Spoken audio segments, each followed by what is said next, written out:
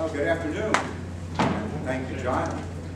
Thank uh, all of you for taking time out of a chilly afternoon and the calm before the storm to spend time with us this afternoon. Uh, We do appreciate that. I'd also like to note that this is uh, today the midway point in our lecture series.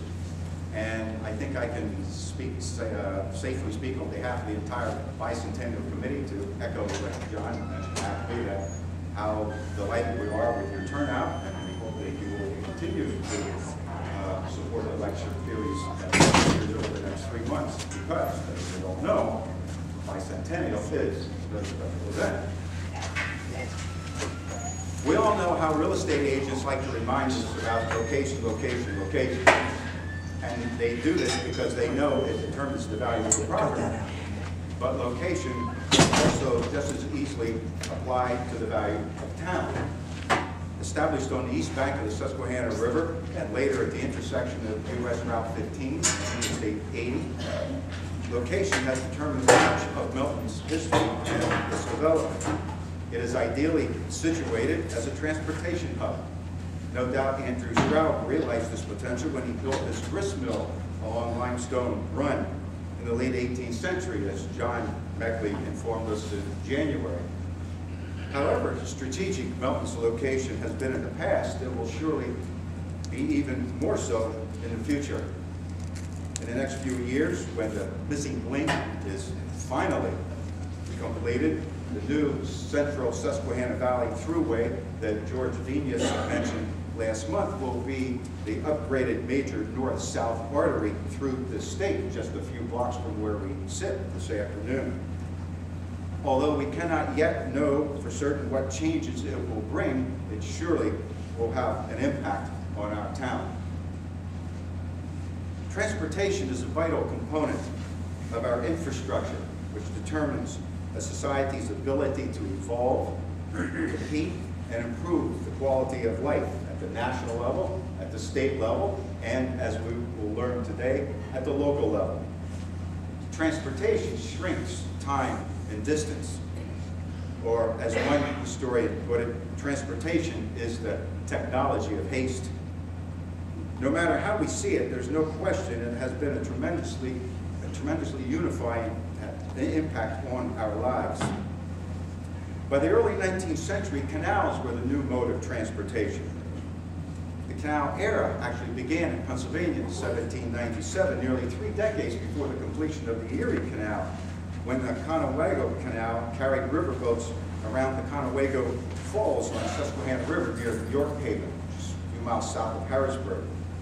Pennsylvania, Pennsylvania might well have been called the Canal State because with its 1,356 miles of waterways, it had the most extensive system of any other state. Around the turn of the 20th century or so, the Lewisburg, Milton, and Watsontown trolley line, or LMW as the locals would have referred to it then, provided cheap easy, and relatively efficient transportation here. But it was relatively brief because, as we know, technology is always evolving. And so it was with transportation when the trolley was quickly rendered obsolete with the mass production of the automobile. Talk about a game changer. Unfortunately, we can only know about the canal and trolley through archives and history books. There are few visible signs that these modes of transportation ever existed, but thanks to historical markers around town, we can walk the route of the canal and we can retrace the trolley bed. At the very least, we can use our imagination and through our mind's eye, recapture what once was. And sometimes that's the best we can do. Unlike the bygone canal and trolley, there are plenty of visible reminders throughout town of our railroads. And it is our good fortune, as John just mentioned, that we will have an opportunity to relive the experience of a train ride this June. While you and I are not old enough to remember firsthand either the canal or the trolley, we can uh, no doubt share many recollections of railroads in this town. And when I think of railroads in Milton, the first image that comes to my mind is the Grand Train Station on Filbert Street that now houses the police department. To me, as a 10 or 12-year-old, it was a bustling center of activity. It was spacious. There was a huge clock hung prominently on one wall. Long wooden benches accommodated waiting passengers. And I think I can remember at least two ticket offices on the Broadway end of the building. Outside, there were baggage carts hauling passengers' luggage from a train to a waiting taxi or private vehicle. I wondered then where those people were coming from or going to. All kinds of images were forming in my brain. What kind of people traveled on a train? What kind of people traveled? I thought about where passengers had been and where they were headed, maybe to return home from a faraway place. Maybe it was just a sense of adventure to get out and see the world. As a kid, I saw a passing train with awe and annoyance. I was in awe of the noise, the power, and the sense of motion, movement. And I was annoyed with having to wait at the crossing while about a thousand cars took more than half a day to cross so I could get to, I don't know, the other side. You remember waiting for those long freight trains, right? How many of you were impatient like me, I wonder, and tried to beat it by jumping on your bike, or if you were old enough, in a car speeding to the underpass on Race Street? How many of you put a penny on the rail so it would get flattened into a shape like a football? How many of you walked the rails with your friends to see who would be the last to fall off? They were fun times for me. Free entertainment, part of growing up in Milton. I remember the station, the flat pennies, and walking the rails. But you know what has really stayed with me throughout my life, more than the station, the pennies, and the rails? An intangible, the whistle. What more reassuring sound is there than a distant train whistle growing stronger, announcing its presence at its approaches, and then so easily fades away as it moves through the night. A soft constant in a changing world. Locomotive poet. Today's speaker will take us back through all that and more. Tim Bittner is a Milton High School graduate. He says history was the only subject in which he earned straight A's, which means he got better grades than I did. Uh, much better. He might not have aced his other courses, but he must have done well enough in them because he graduated from Penn State University with a Bachelor of Science degree in agricultural education, which makes us fellow Nittany alum. After a short stint at teaching, uh, teaching at Selinsgrove High School, he started a landscaping business which complemented his interest in transportation. He also had what proved to be a fateful opportunity to visit a neighbor's home where he saw an HO scale layout. He was hooked. He soon began modeling in HO scale and eventually started photographing real trains. More recently, he began studying the history of railroads, focusing in particular on those in the West Branch Valley. That project coincided with his interest in canals, which he attributes to his work with soil and rocks and water. Tim has conducted research at the Railroad Museum, of Pennsylvania in Strasburg, and the Pennsylvania Canal Museum in Easton. And we should not be surprised that his basement houses an HO scale layout and maps and photographs of railroads the West Branch Valley Canal. He has served on the board of directors of the Milton Savings Bank. He is currently a member of the Central Pennsylvania chapter of the National Railroad Historical Society, which maintains the former Reading Station in White Deer, just off the Watsontown Bridge, that includes some freight and passenger railroad cars. He also is active in the Friends of Railroad Museum of Pennsylvania, the Pennsylvania Canal Society, and the Union County Historical Society, and he is a board member of the Milton Historical Society. Tim will share his passion and expertise with us this afternoon through his presentation, Canal Railroads Trolley, Short History of Transportation in Milton. Please welcome Tim Bittner.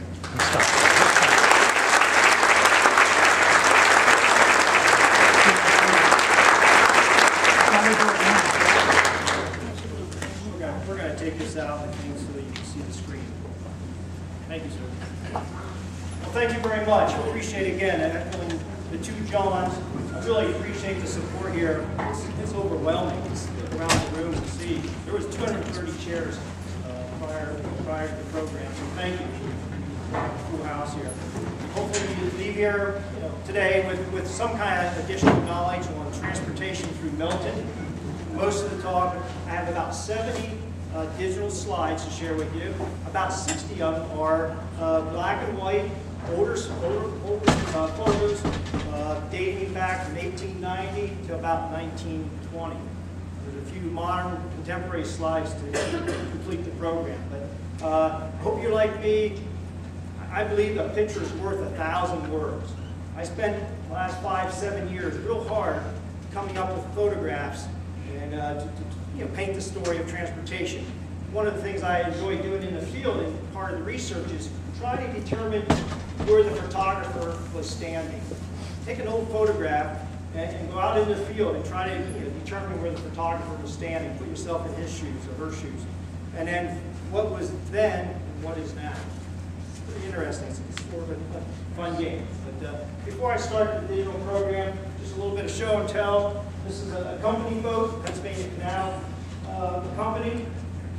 Uh, uh, Basically, the Pennsylvania Railroad, uh, you know, had the canal, got into the canal, canal business towards the end. This would be a company boat. Uh, Company boats were always numbered. In this case, 502, this is uh, Captain, Captain Fortney's model of his freight boat. Used here on the West Branch Canal. Over here to my left then is the 1883 map. As- As you've seen in other previous elections, if you were here, this is my, I just took that same digital copy and enlarged it and had it for spring for my, my hobby room, my history room. But it's really easy to read and, uh, we'll look at that on the screen then, but it's easy to see and it's, it's a transportation uh, treasure. You know, George used it last month for the fire and floods, but this is, this is a great example of Milton transportation. Please take the time to study it. And over here is the uh, 1858-59 map of the canal, the West Branch Canal coming through Milton, represented by this very dark, wide line. So it gives you the pathway of the canal through Milton. Um, Like I said, I have about 70 slides. I guess I'll use the mic. I'm not a big mic fan. Can you hear me all right? Could I have the house lights, please, that that first switch? All right. Does that work okay? This is the official bicentennial uh, logo. Great, great artwork. I really like the railroad bridge behind it. What do you got? I really like the bridge. This is the Catawissa Reading branch line that will be taking the train ride over in June. I I just think it makes a nice backdrop. Uh, Just a couple of individuals I'd like to thank personally. First, my niece, Brianna Bittner.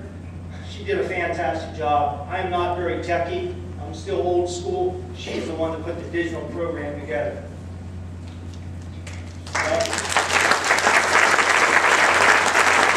Yeah, I- Like I said, I just bought my first uh, smartphone last week. Uh, But she did a great job working with me. We put a lot of hours in putting the program together. We, we've had started a couple months ago doing this. Uh, Mike McWilliams from Northumberland, Captain Mick, appreciate him. He supplied a lot of photographs and, and material as far as the West Branch Canal. So thank you, Mike.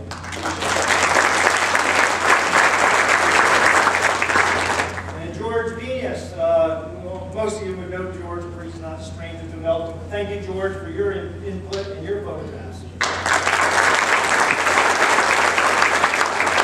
And just last, but the Milton Historical Society. Uh, I also use some of their archives to to put the program together, so I thank the Historical Society.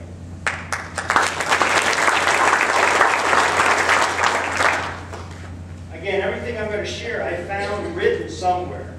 Newspaper, textbook, reference book, but I did find it written down, so uh, sometimes the dates do contrast a little bit. These are some of the main references used. Uh, Dr. Davis did a great article on the West Branch Canal, Port of Milton it was called. Uh, Of course, Homer Folks, books. Larry Hill, if you've never gotten on his website, you need to get on there if you're interested in Milton history. Great job, great job. Uh, Covers a lot of different facets of Milton history.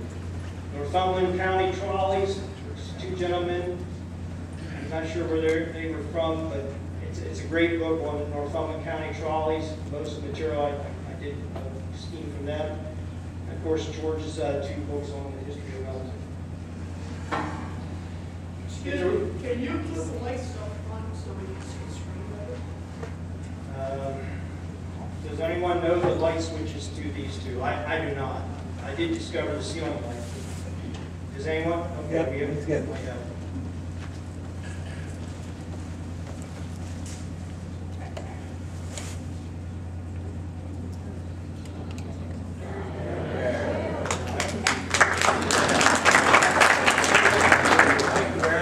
All right.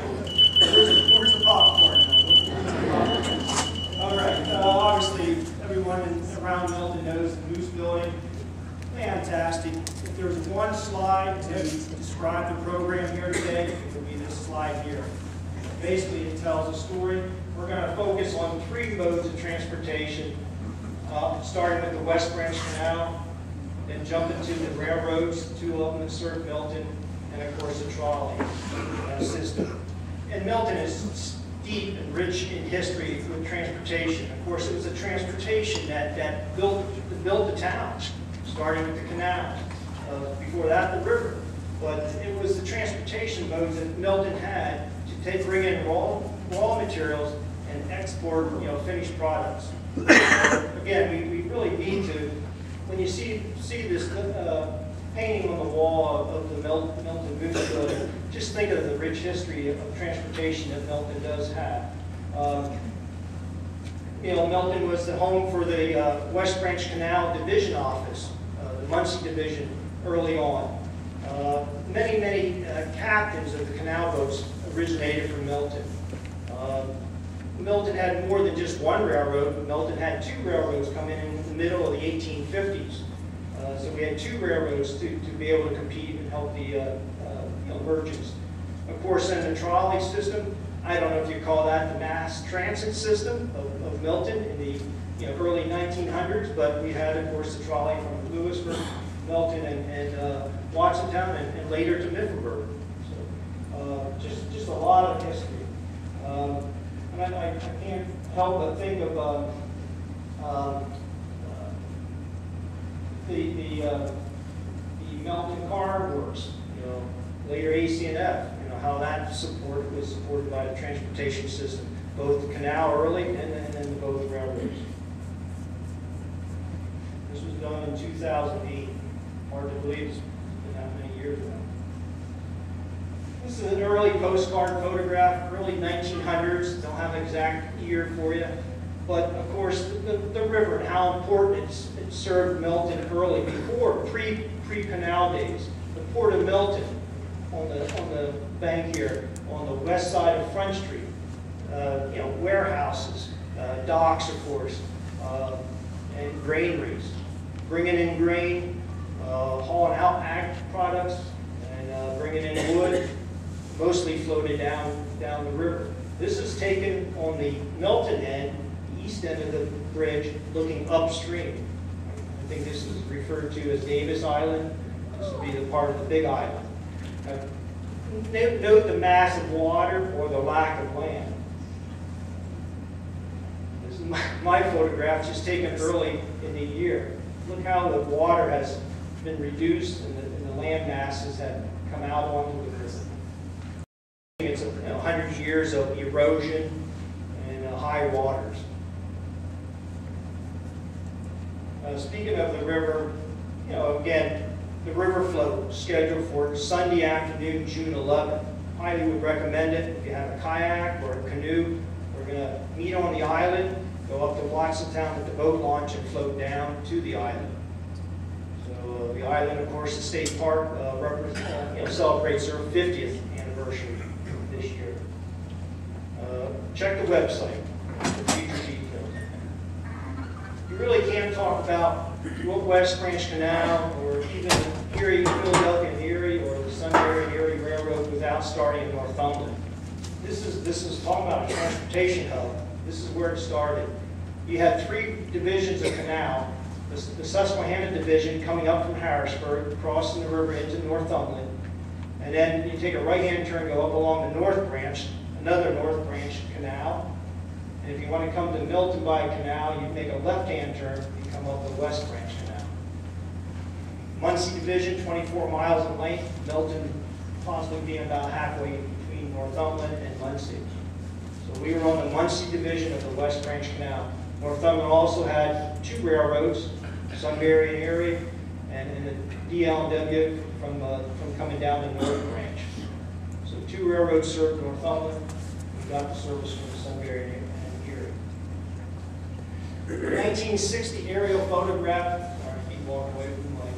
1960 uh, photograph, aerial photograph of Milton, just some key trademarks to point out. This is Mahoning Street. Um, Of course, Warshaw's, Milton Manufacturing.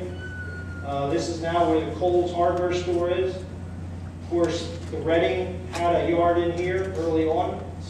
South Milton is where the, the- the, transportation started to happen from Milton to South Milton, not, not Broadway or Filbert Street, but, you know, south of Cameron Street. Um, This is the uh, Reading branch coming into, referred to as the Milton branch of the Reading Railroad coming in off their main line, going across the river. You notice there's a ball field back here. And then, of course, Chef's Water Tower. And then the main thing is, to show you is what I call the fire station. I think it was referred to as the Fifth Ward Fire Station. Right behind there is where, where the canal lock was located for Milton, lock number 17 of the West Branch Canal. Lock 17 was located right behind that building still stands today. Uh, Of course, Cherry Street to the west. This is what it looks like today. Took this picture last summer. And this is the, what I call again, the fire station, uh, the- the lock that's in right in here. A little difference uh, today. Catawissa, you know, railroad had their yard behind the new Coles hardware store, as you saw in the previous picture. Well, I really want to put a plug in for, for Times Walking Tour. If you haven't been on it, take, take about three hours that hour or that mile loop. It's, it's a great tool to learn more about Milton's history. What better time than, than during the bicentennial? Uh, Many, many of the stops refer to uh, of transportation or industry, uh, but the kiosks, you know, take the time and read and and look at the diagrams on the kiosk.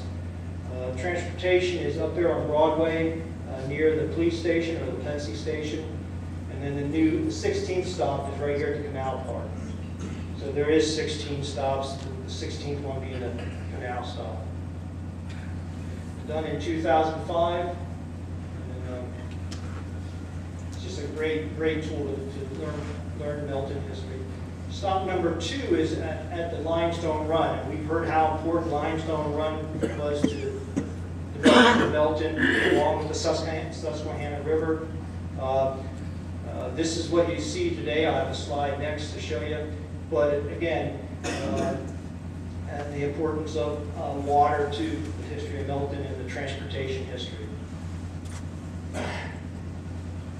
This is what it looks like today. The canal's aqueduct, and I'll show you an aqueduct in a in a minute, but was used in this area right here. The Reading Railroad came in and and also used the same uh, stone abutments. As a landscaper, I I get excited when I see cut stone like that. That's, that's beautiful work, beautiful stone masons. Uh, I get excited uh, just to see that. This is what an aqueduct, you're saying, what's an aqueduct, Jim? This is a, a man-made uh, body of water, of course we call that a canal. Well, how do you cross a, a body of water with another natural body of water? Well, you need to make a bridge over that natural body. So the aqueduct is stone lined with uh, timbers. This is a, you know, this is the natural body flowing underneath the man-made water bridge. This is down in Newport on the uh, old, old line, main line between Philadelphia and Pittsburgh. I really like this. This is considered, I think, the earliest sketch of Milton. Um, if you look around, look at the sketch study a little bit, I don't see any railroad tracks.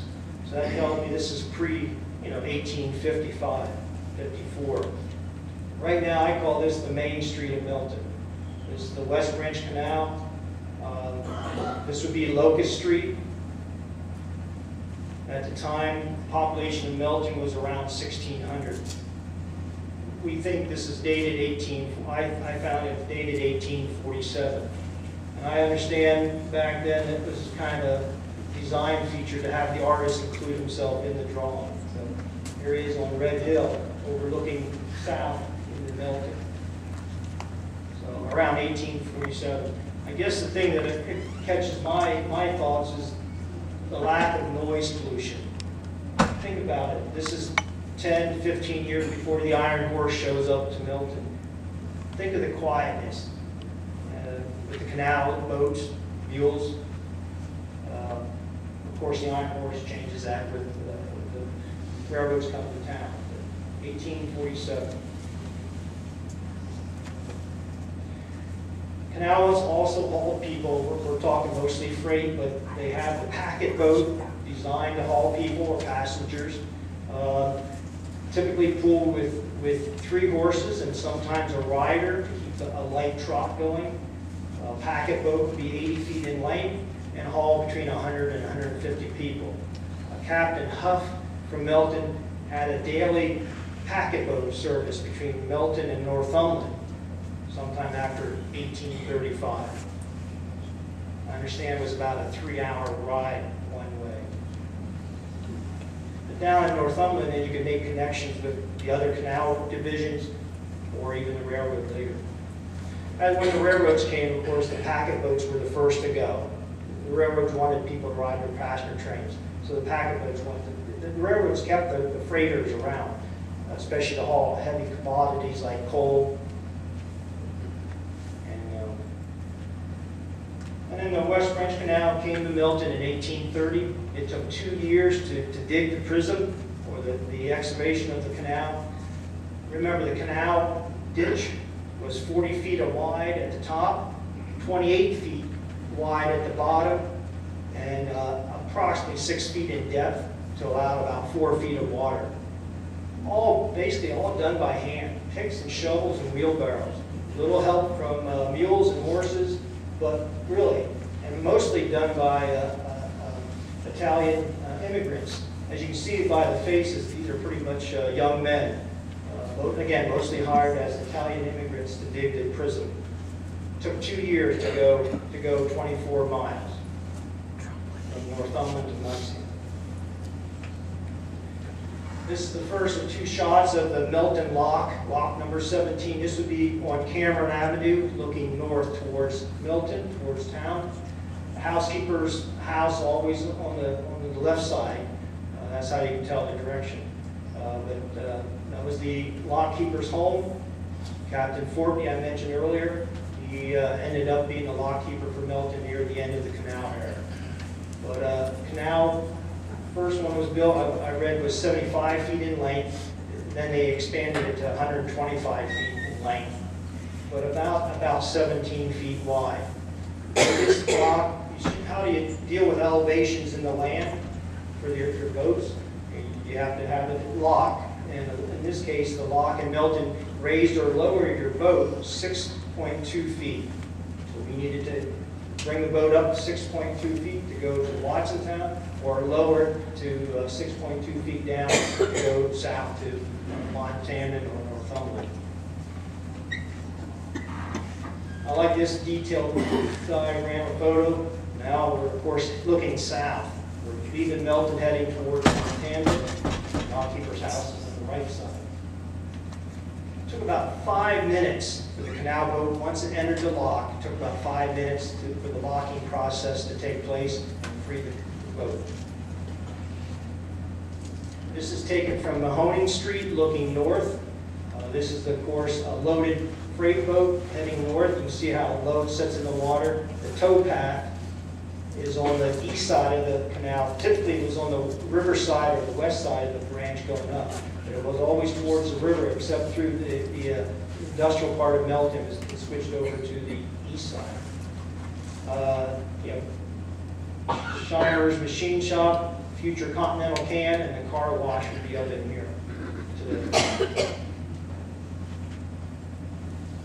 Typical bridge, pedestrian bridge over, over the canal. This happens to be Walnut Street with the Presbyterian Church in the background.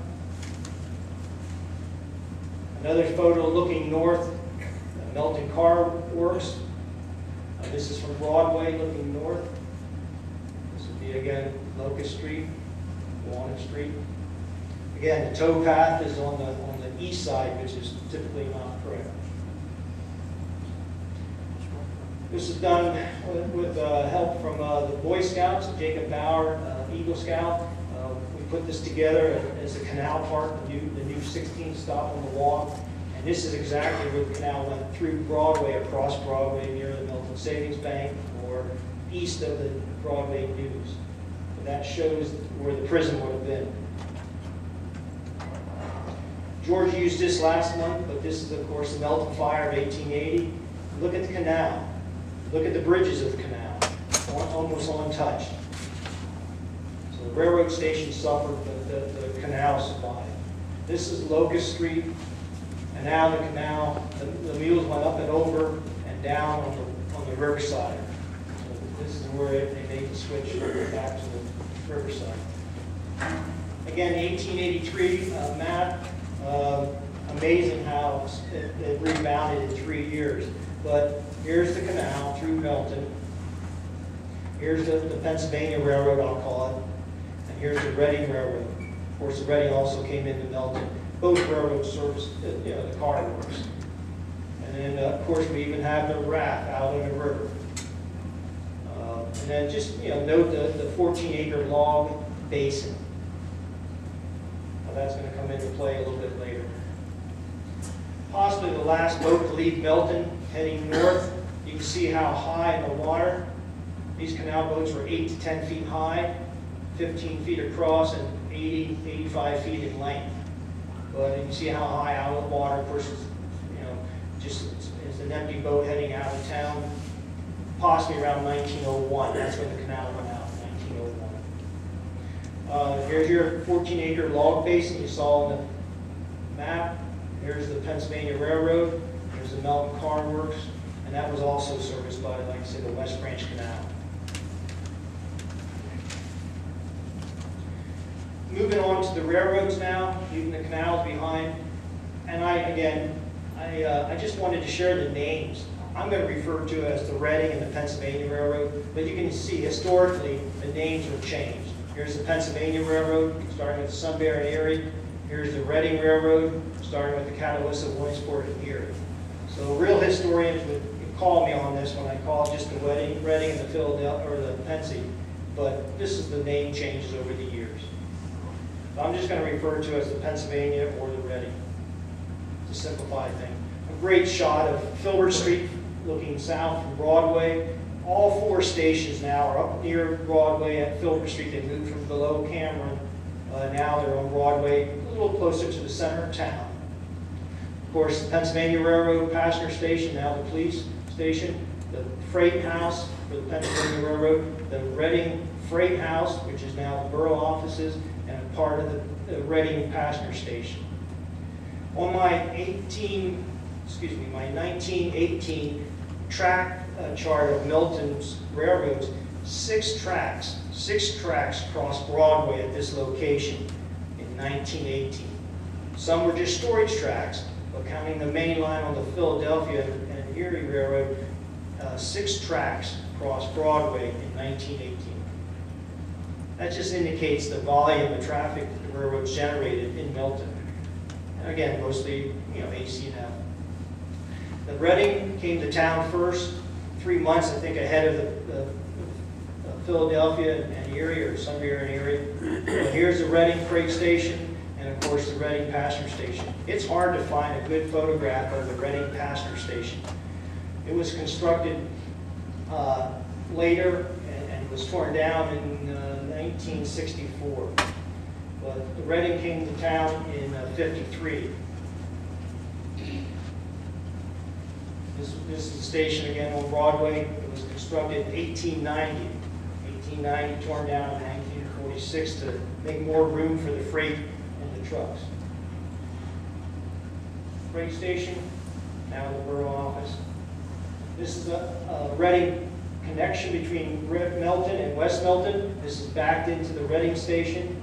Uh, So this is the train facing south, getting ready to head over to West Milton, making connections on the Reading at West Milton. The train was referred to, nicknamed the Annex, the Annex train. Hard to believe, this is a, a- an 1885 photograph, but in 86 and 87, for two years, it hauled 47 to 48,000 passengers. 47 to 48,000 passengers on the Reading from you know, Broadway station over to West Milton to make connections. That's an unbelievable amount of people, 1887, 1888. Usually two coaches and an engine, when you see on pictures. On the Pennsy side, of course, the station and the freight station, the original freight station. Um, The 1870 map of- of Milton shows both buildings of of the Pennsylvania Railroad. Early shot close-up of the freight station. Later, a second story was added. This is one I found at the archives in, in the State Railroad Museum in Strasburg.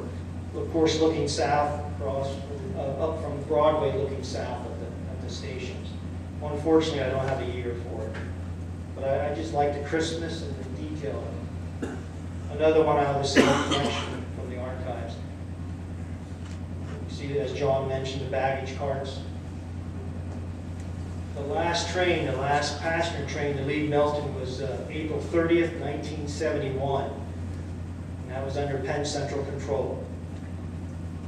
The next day, we have Amtrak beginning, uh, May 1st, 1971.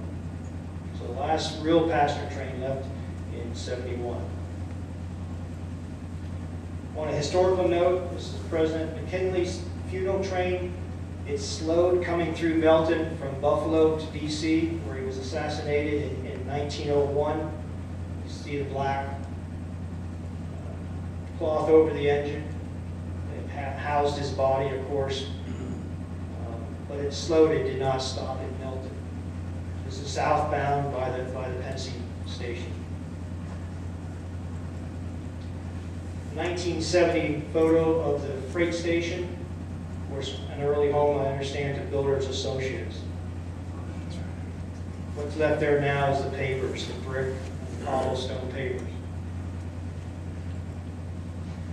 Again, another shot of the uh, freight station looking north from the uh, state archives.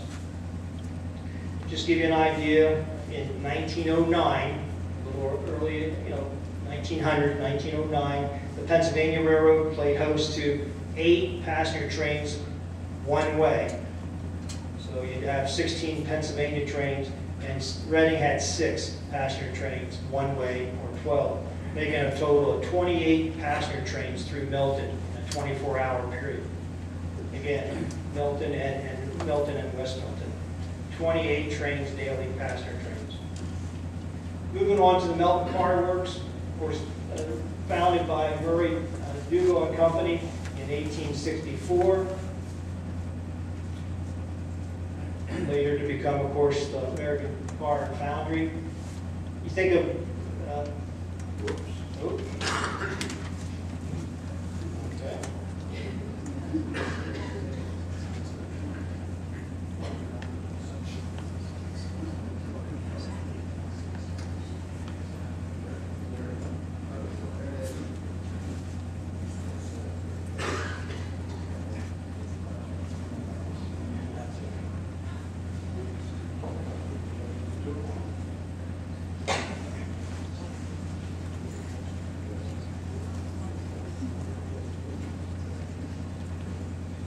Sorry about that.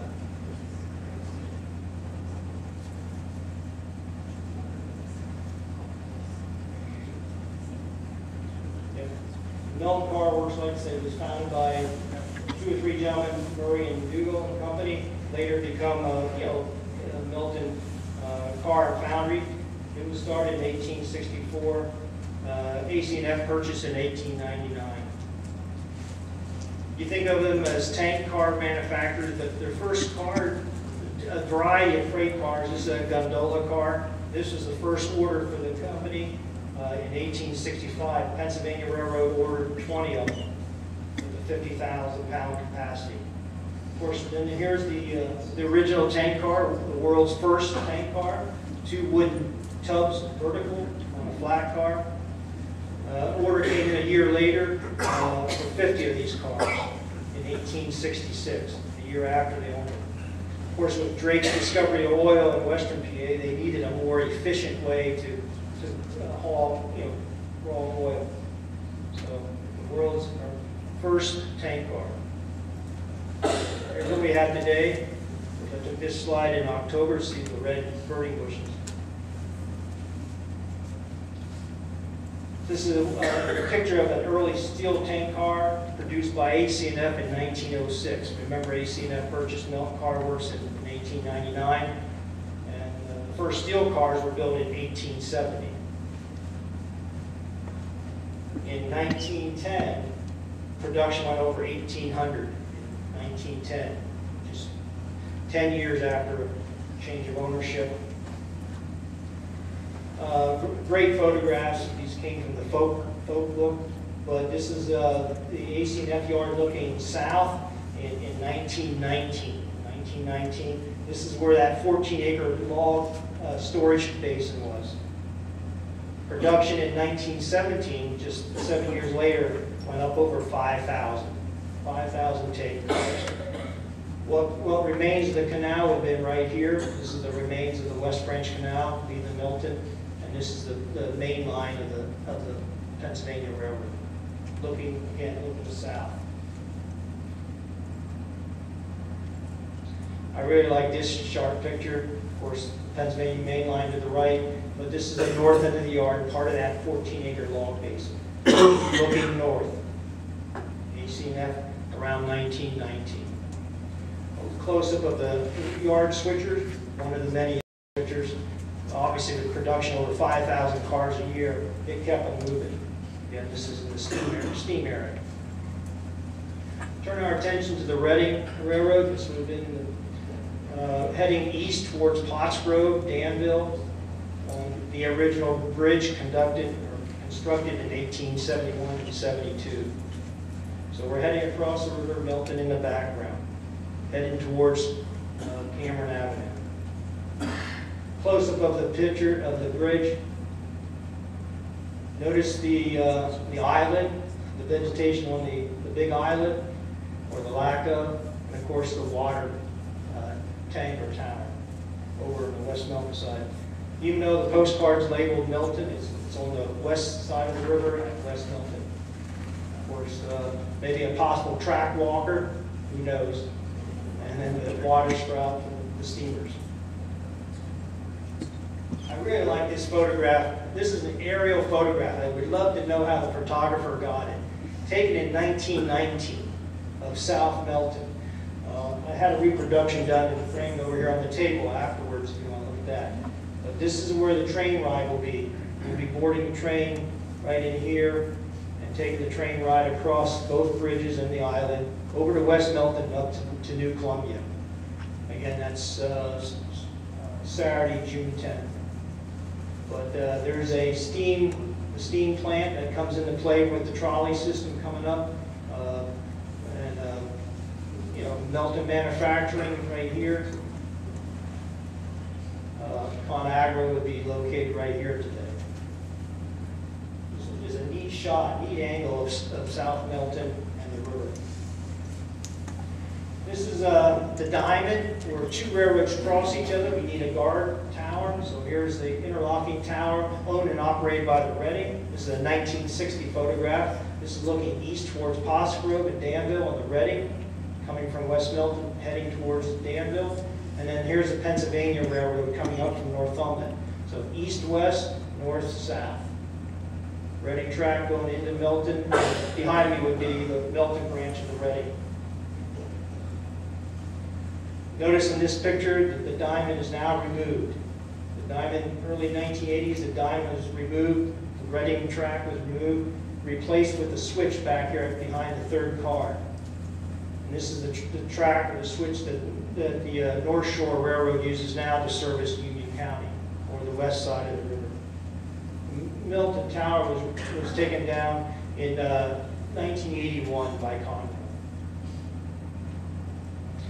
Threw this slide in to share with you folks, if you're interested in riding the train in, in June, this is where you'll be boarding the North Shore Railroad with their passenger coaches. You can haul about 200 per ride, taking three rides, 11, um, one and three, I believe. You'll be parking across Cameron Avenue in the vacant lot that's fenced in and boarding the train here behind ConAgra or behind YBC in the grassy area. So I'm pretty excited about the train ride. Uh, Like I said, the last one we think was the Reading Rambles in the fall of- of 1964. that ran- ran this section of track. Moving on to the third and last mode of transportation is the trolley system. Uh, Technical name Lewisburg, Milton, and Watsontown Passenger Railway. Passenger Railway. Started in 18 1898. This is at at the barn, the trolley barn, on the north side of Locust Street in Milton. This is the base of operation for the trolley system. Uh, I think this is a vacant lot next to the former state employment office. I really do believe that that's probably where the sh- the shed was. Uh, From there, you could go right out of the shed, and go to Front Street and up, up towards Watson. Or you make a left, go out to Arch Street, down Arch Street, which you can't do today. But come down Arch Street onto Broadway, and make a left on Broadway onto Front Street to head down to East Lewisburg. Two-man crew operated the trolley, operated from both ends, so you didn't need a turntable or a Y to turn the trolley around. You can operate it from either side, either end. Uh, Ran for about 31 years, really truly only made a profit about eight of those years. Peak came about 1912 to 1916. At its peak, though, it, it's, it had over a, a million riders in a year, over a million riders in one year in 1912. This was a, an open side cage car, they call it, to haul people in the summertime, of course, but also to take the seats out. It used to haul milk, I understand, milk from Lewisburg up through Milton to It would transfer the milk into a truck or wagon up to Dewart, where it would then be made into ice cream and shipped back to Lewisburg in this open cage car that had two of them. 1906 photograph of the, of the trolley on Broadway coming towards Front Street or the river. Trolleys would leave uh, Milton every 30 minutes to head to East Lewisburg, every 30 minutes between the hours of 5:30 and 11 p.m. Um, To Watsontown, they would leave every hour, every hour between 5:30 and 10:30. It would take about 30 minutes to complete the ride. This is again coming toward Front Street on Broadway. You'll soon make a left-hand turn.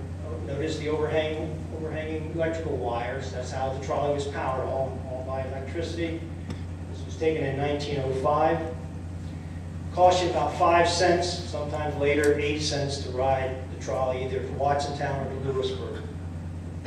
So, Today, the five cents, I looked it up, today five cents would be about uh, a dollar twenty-five.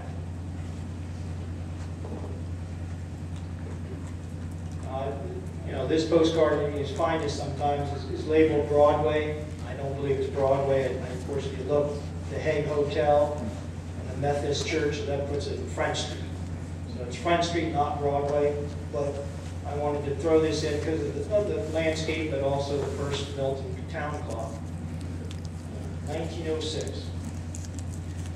Taken from the Hague Hotel then, uh, top of the roof, looking south, course, the steeple of the Methodist Church, the two bridges, crossing the river onto the big island. Trolley down there heading probably to East Lewisburg. This is the only shot I could find of the trolley in action between East Lewisburg and Milton. Uh, Just, it's not the best photo, of course, but uh, this is the future 405 that we have today. So this is somewhere between East Lewisburg and Milton. Top speed on the straightaway like this, 20 miles an hour. 20 miles an hour with a little rock to it, think. Little rock and, rock and roll. Little rock and roll. Uh, This is the end, before 1911, this was the end of the line for the trolley from Milton to Lewisburg. You know, we'll see 405 in it, can't you? Off the river bridge. Uh, It was, passengers were taxied across the bridge and into, into Lewisburg, the Pennsylvania station. Uh, But after 1911, then the trolley was allowed to go across the railroad bridge, a steel bridge, into the Pennsylvania station.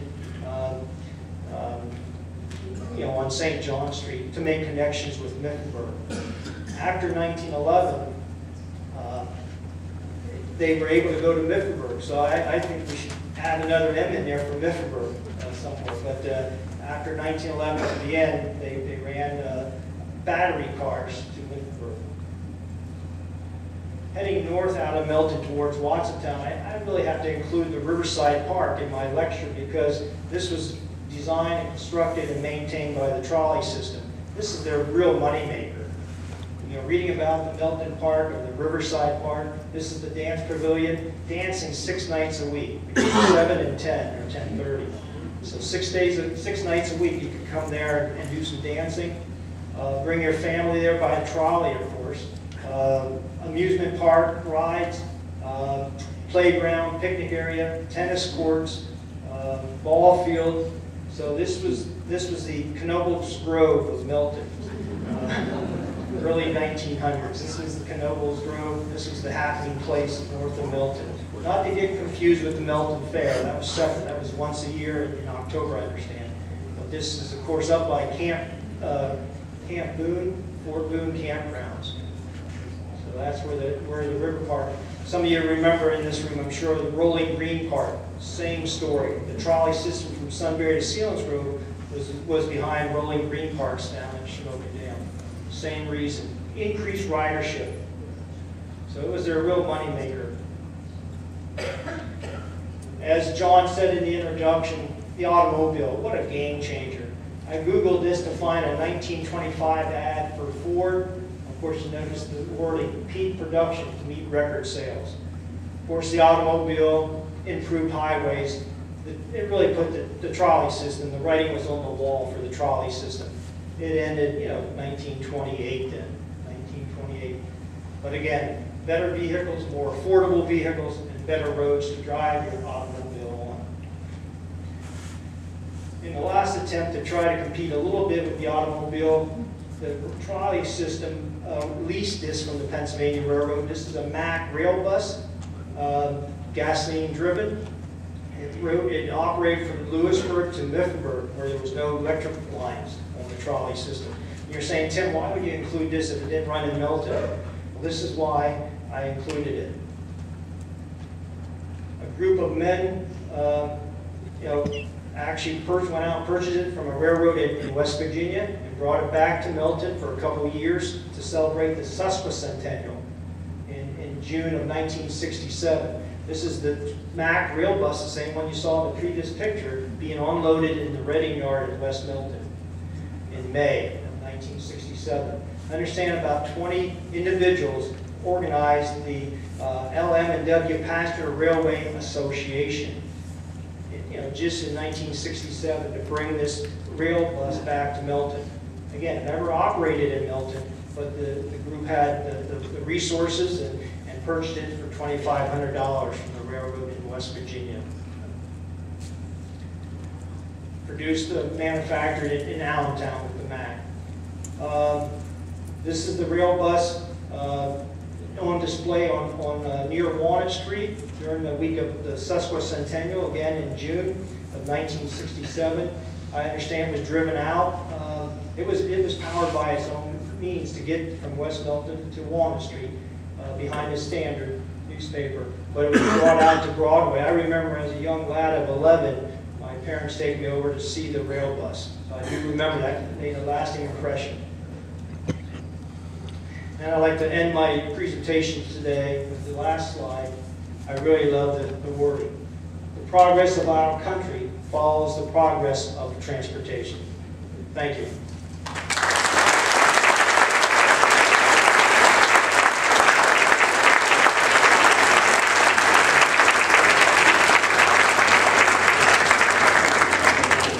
stupid.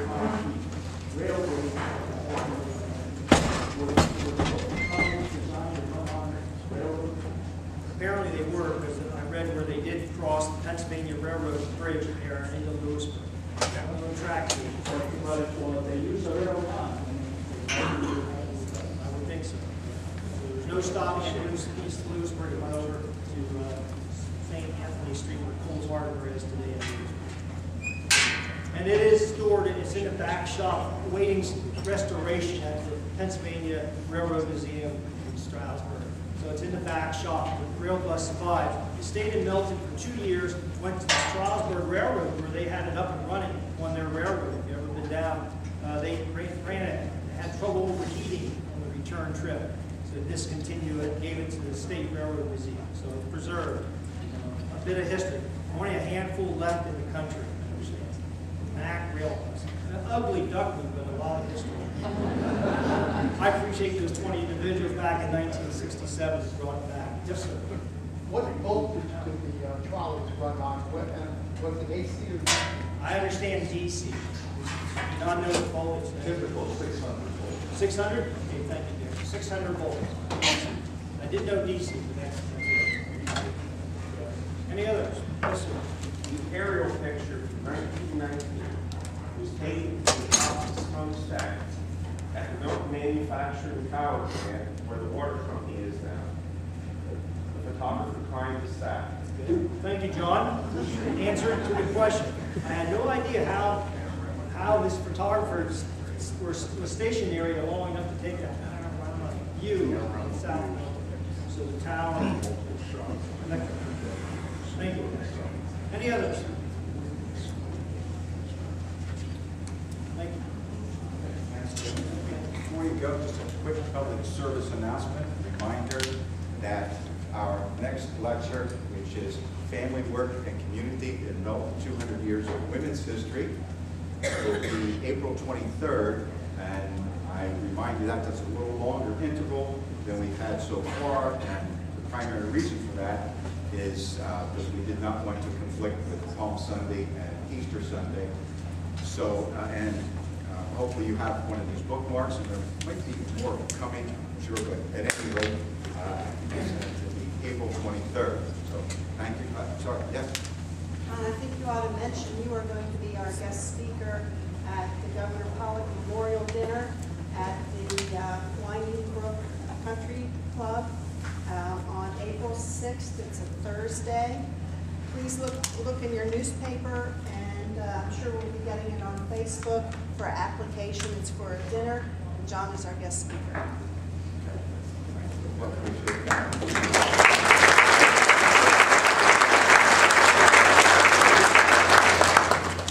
Thanks again for your support, for coming out, and we'll look forward to seeing